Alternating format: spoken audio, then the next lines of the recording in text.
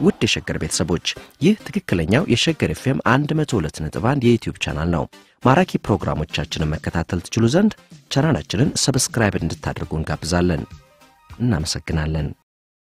ኢትዮጵያ በ27 ዓመት ውስጥ ከ35 ቢሊዮን ዶላር በላይ ከሀገር ሸሽቶባታል፣ በግፍ ተሞጭልፏል። በብር እንጥራው ካላችሁም ኢትዮጵያ በ27 ዓመት ውስጥ አንድ ትሪሊዮን 80 ቢሊዮን ብር ገደማ የሚገመት ሀብት እንደሸሸባት ጥናት ያስረዳል። ይህንኑ ሥራ መቆጣጠርና ማዳን ከፍተኛ ኃላፊነት የተሰጠው የውጭን ምንዛሬ በብቸኝነት እንዲያስተዳድር የተሰየመው የብሔራዊ ባንክም ሆነ ሌላው የ finance intelligence ማዕከል ስራቸውን እንዳልሰሩ ከተጠያቂነትም እንደማያልፉ ባለሙያዎች ደጋግመው ተናግረዋል። ስለ ብሔራዊ ባንክም አሰራር የጠየቅናቸው የማክሮ ኢኮኖሚክስ ባለሙያዎችም የእነሱን ነገር ተውት የሚል አጭር መልስ ሰጥተውናል። መንግስትም ከአሁን በኋላ መንገዶች እየተጠረጉለት፣ አሰራሮች እየተመቻቹለት፣ እቅድና መላ እየተበጀለት ስለተሞጨለፈው በቢሊዮን የሚቆጠሩ ዶላሮች መቆጨቱን መንገብገቡን አስረድቶ አስቸኳይ መላ ካልመታም ሀገሪቱ በሚያስደነግጥ ፍጥነት እንደ ሀገር መቆም እንደማትችል ከፍተኛ ቀውስ ውስጥም እንደምትዘፈቅ የ macro economics ባለሙያው ተናግረዋል።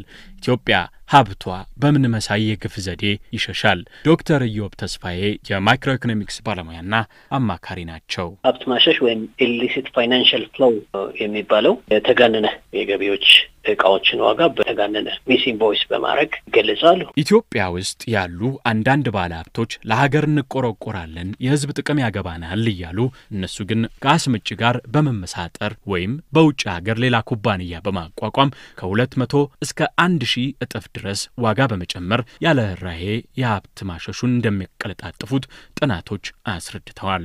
ሌላም ሁለተኛው የሀብት ማሸሽ መንገድ በኤክስፖርት ሰበብ እንደሆነ ዶክተር ኢዮብ ይናገራሉ። ሻጩ የሚያገኘው ዋጋ ከፍተኛ ሆኖ ሳለ ሪፖርት የሚያደርገው ወይም LC የሚከፍትበት ዋጋ በጣም ዝቅተኛ በሆነ ዋጋ ነው።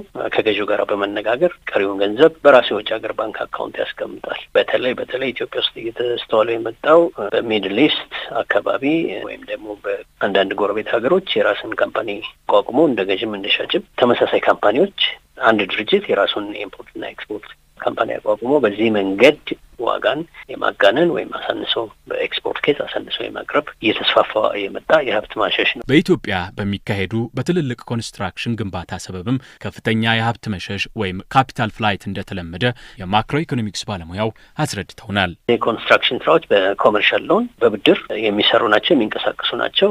እነዛን ፕሮጀክቶች ዋጋ አጋኖ በመስጠት ከአበዳሪዎቹ ወይም ብድሩን ይዘው ከሚመጡት የውጭ company ዎች ጋር በመነጋገር ኮሚሽን መልክ አየር ባየር እዛው ላይ የሚቀርበት አሰራር አለ። ይሄ እየተለመደ እየተስፋፋ የመጣ የሀብት ማሸሽ ነው። ስለዚህ ብድሩም ቢሆን የኢትዮጵያ ሀብት ነው፣ በኋላ ላይ የሚከፈል ብድር ነው። በኢትዮጵያ ውስጥ እነዚህ ናቸው መገለጫዎቹ እና ከጊዜ ወደ ጊዜ እየተባባሰ መጥቷል። ኢትዮጵያ ውሃን በወንፊት እንደ መቅዳት ልምድ ሆኖባት በልማት እርዳታም ሰበብም ሆነ በብድር ከምትቀበለው የውጭ ምንዛሬ በየዓመቱ የበለጠ ገንዘብ እንደሚሸሽባት ጥናት ያስረዳል። በ2004 ኢትዮጵያ የተለያዩ ፕሮጀክቶቿን ለመደገፍ በተለያዩ የልማት ደጋፊዎች አራት ቢሊዮን ዶላር አግኝታ ነበር። በዚሁ ተመሳሳይ ጊዜም አምስት ነጥብ ስድስት ቢሊዮን ዶላር ሸሽቶባታል የሚሉን ባለሙያው ናቸው። ኢትዮጵያ ከምትበደረውም ዶላር የምትዘርፈው ይበልጣል ማለት ነው። ይህም እንደ ልምድ ተቀለጣጥፎ መንግስት እጁን አጣጥፎ መመልከቱ አሳሳቢ እንደሆነ የኢኮኖሚክስ ተንታኙ ይናገራሉ። እስከ ዛሬ ድረስ ምን ያህል ሀብት ሸሸ ያልናቸው ዶክተር ኢዮብ ይህንን አስረድተውናል። ተባብሶ የቀጠለው ከሁለት ሺ አስራ ሁለት ጀምሮ ነው። ለምሳሌ ከሁለት ሺ ሁለት እስከ አራት ባለው በአማካይ ወደ አምስት መቶ ሚሊዮን ዶላር ነበር ግን ከሁለት ሺ አስራ ሁለት ጀምሮ ከአንድ ነጥብ አምስት ቢሊዮን ዶላር በአመት ይሸሻል። ዞሮ ዞሮ በሀያ ሰባት አመት ውስጥ ወደ ሰላሳ ስድስት ቢሊዮን ዶላር ከኢትዮጵያ ወጥተዋል የሚሉ ጥናቶች አሉ።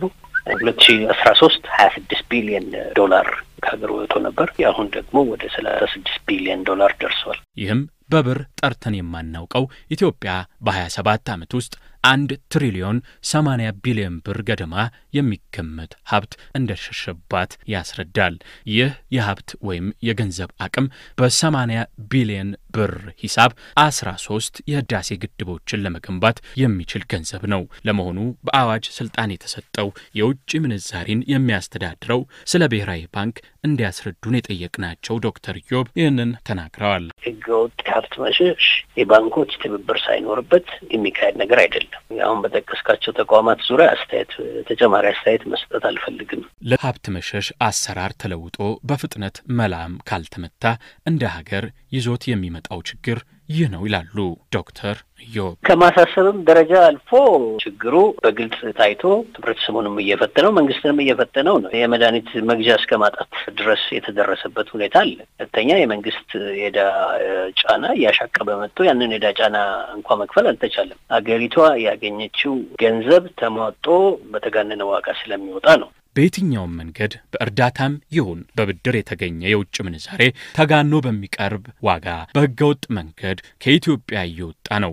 ስለዚህም ለብር ምንዛሬ ማሽቆልቆል ወይም devaluation ዋነኛው ሰበብ ይሆናል። አፋጣኝ ትኩረት ካልተሰጠው ኢትዮጵያ ኢኮኖሚዋ ይፈተናል፣ የምንዛሬ ተመኗንም በየጊዜው ያመነምንባታል። ይህም የዋጋ ግሽበት ያስከትላል። በዚህ አዙሪት ውስጥም የማክሮ ኢኮኖሚክስ አለመመጣጠን ተፈጥሮ ንቅዘት ሌብነት አስፋፍቶ ሀገሪቱን ለከፋ ችግር እንዳይጠላት ባለሙያው ተናግረዋል።